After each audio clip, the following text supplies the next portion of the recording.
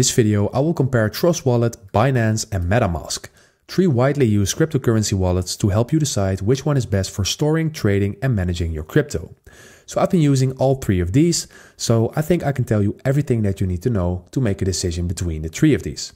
So I've divided this video into different subjects and I'm going to talk about the platform overview, security and control, fees and costs, features and use cases, and I will give a final verdict.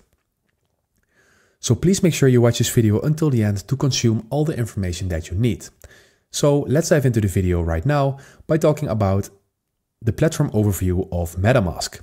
So MetaMask is a non-custodial wallet primarily for Ethereum and EVM compatible blockchains, widely used for DeFi and Web3 applications. Binance, on the other hand, is a custodial wallet integrated with the Binance Exchange, offering seamless trading, staking, and high security. Trust Wallet is a non-custodial mobile wallet owned by Binance, supporting multiple blockchains, in-swap apps, in-app swaps, and staking. And let's talk about the security and control.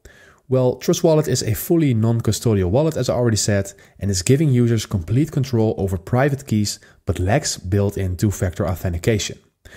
Binance Wallet, on the other hand, is custodial, meaning Binance holds your keys, but offers advanced security features like two-factor authentication and withdrawal whitelists. MetaMask, on the other hand, is also non-custodial, requiring users to safeguard their seed phrase, but supports hardware wallet integration for extra security. And what about the fees and costs? Well, MetaMask is free to use, with gas fees based on Ethereum or other EVM compatible networks, which can fluctuate significantly. Binance Wallet has no wallet fees, but trading fees apply when buying, selling, or withdrawing crypto on Binance. And Trust Wallet is free to use as well, but transaction fees depend on the blockchain.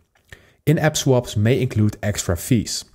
So, what about the features and use cases?